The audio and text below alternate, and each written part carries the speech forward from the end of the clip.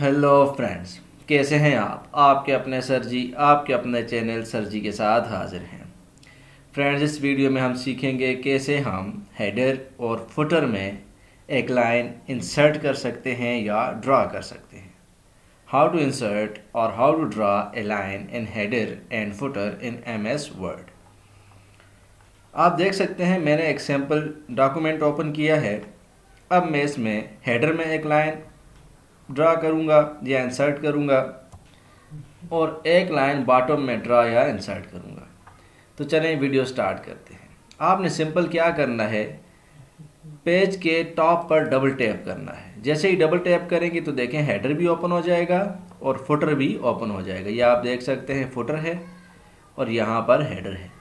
अब हम line draw करते हैं। सिंपल होम में जाएँगे और यहाँ से आप ये देखें बॉर्डर एंड शेडिंग्स बॉर्डर्स का ऑप्शन है।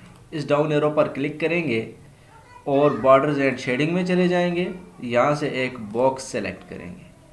बॉक्स सेलेक्ट करने के बाद आपने यहाँ से विथ सेलेक्ट कर लेनी है। यानी जितनी मोटी लाइन आपको चाहिए, आपने वो सिलेक्ट कर लेना है। उसके बाद ये देखें, यहाँ पर चारों लाइन इसने ड्रा की हुई हैं। आप क्या करेंगे, नीचे वाली लाइन भी हटा देंगे लेफ़्ट वाली भी और राइट वाली भी। हमने इनको, इन पर क्लिक किया एक एक बार तो ये लाइन्स हट गई। आप रिव्यू देख सकते हैं। अब हम ओके करेंगे। तो ये देखें, एक लाइन ड्रा हो गई। अब इस लाइन को मूव कैसे करवाएँगे? मूव करवाने के लिए हेडर एंड फुटर ऑप्शंस में जाएँगे और यहाँ से देखें हेडर फ्रॉम टॉप जब आप इसको ज़्यादा करते जाएँगे तो ये लाइन नीचे आती जाएगी। कम करते जाएँगे तो ये लाइन ऊपर जाती जाएगी। आप देख सकते हैं। अब इसी तरह बॉटम में, यानी फुटर में लाइन कैसे ड्रा करेंगे? तो फुटर के अंदर डबल टैप करेंगे और सेम उसी तरह होम में जाएँगे, यहाँ से उसी तरह बॉर्डर एंड शेडिंग में जाएँगे।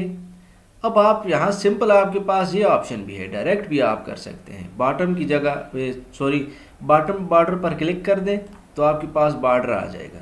पहले मैंने आपको डायरेक्ट इस वजह से नहीं बताया क्योंकि हमें विर्थ सेलेक्ट करनी थी कि लाइन कितनी मोटी होनी चाहिए। तो हमने इस वजह से यहाँ पर क्लिक किया था। अब एक विर्थ हमने सेलेक्ट की हुई है तो हम डायरेक्ट यहाँ से इंसर्ट कर सकते हैं। देखें टॉप करेंगे बॉटम करेंगे तो डबल हो जाएगी बॉटम करेंगे तो सिंगल लाइन आ जाएगी। बॉटम पे क्लिक करें सिंगल लाइन फुटर में आ गई। ये देखें, ये फुटर में एक लाइन है। अब इसको भी मूव करवा सकते हैं हम। हेडर एंड फुटर पे क्लिक करेंगे और यहाँ से, ये देखें, जितना आप इसको ज़्यादा करेंगे, ये ऊपर जाएगी, कम करेंगे, नीचे जाएगी। ज़्यादा करते जाएँ, ये लाइन ऊपर ऊपर जाती जाएगी। सो so फ्रेंड्स उम्मीद करता हूँ आपने सीख लिया होगा कैसे हम हेडर एंड फुटर में एक लाइन ड्रा कर सकते हैं। क्लोज हेडर एंड फुटर करते हैं। अब ये देखें लाइन आपको नज़र आ रही है।